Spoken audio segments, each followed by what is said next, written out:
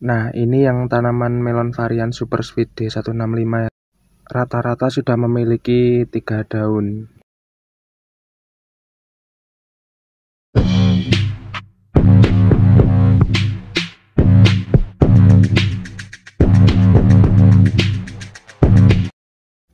Assalamualaikum warahmatullahi wabarakatuh teman-temanku Jumpa lagi dengan saya uh, Di video ini saya lagi di depan greenhouse melon ya Mau ngecek tanaman melon yang baru berusia 10 hari setelah tanam. Mau ngecek gimana pertumbuhannya ya. Oke mari langsung saja kita masuk ke dalam greenhouse melon ya teman-teman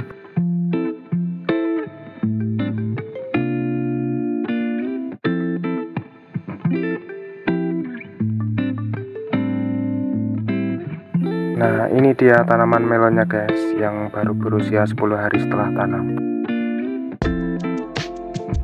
Yang tanam kali ini kami cuma tanam 500 bibit melon ya, yaitu melon varian Rangipo dan Super Sweet D165.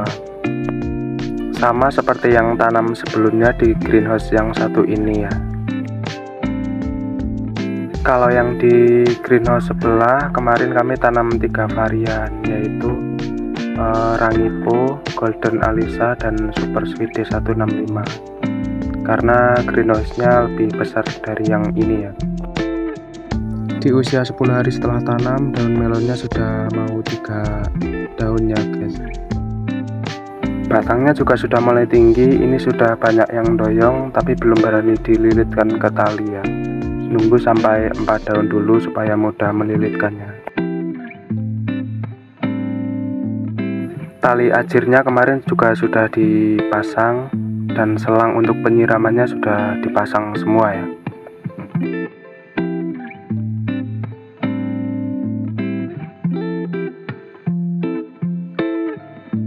Mungkin dua hari lagi sudah bisa dililitkan ke tali teman-teman. Oh ya kemarin penyiramannya dimulai pas usia tujuh hari setelah tanam ya jadi setelah ditanam tidak langsung disiram karena satu hari sebelum ditanam medianya sudah dikasih nutrisi. Tujuan penyiraman nunggu satu minggu setelah tanam supaya akarnya nyebar cari nutrisi yang sudah diberikan ke media sebelum ditanam ya teman-teman. Kalau akarnya nyebar kan otomatis akar jadi banyak dan panjang sampai ke media bagian bawah manfaatnya kalau tanaman akarnya sampai ke bawah nyebar gitu e, pertumbuhan tanamannya jadi bagus. Kalau akarnya bagus dan banyak kan otomatis penyerapan nutrisinya jadi e, bagus dan otomatis pertumbuhan tanamannya juga ikutan bagus ya.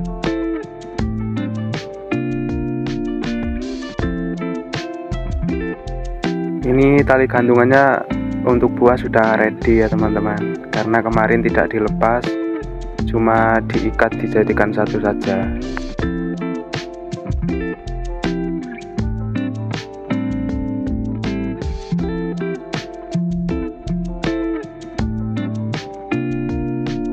Yang tanam kali ini alhamdulillah hama tripsnya tidak terlalu banyak kayak yang tanam sebelumnya ya teman-teman semoga tumbuh dengan bagus sampai panen.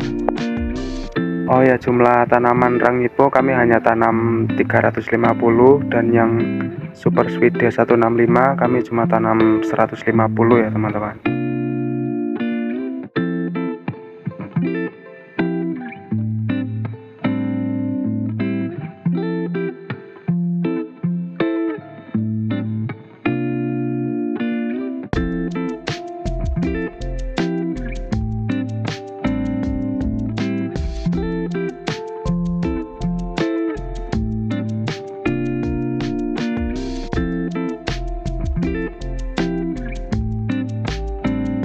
tanaman yang baru berusia 10 hari ini bersebelahan sama greenhouse melon yang uh, kemarin baru saja dipanen ya teman-teman. Cuma dibatasin sama sekat screen net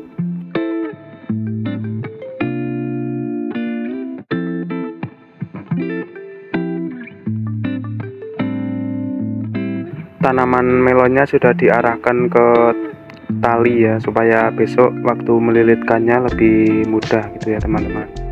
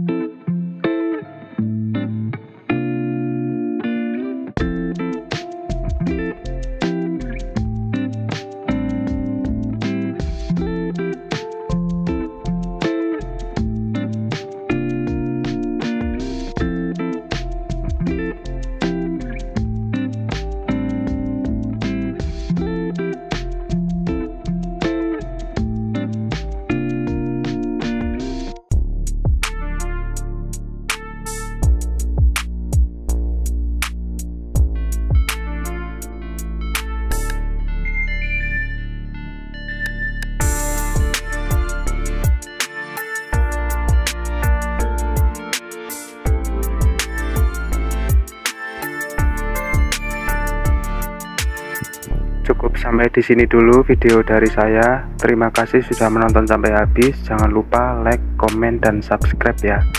Terima kasih.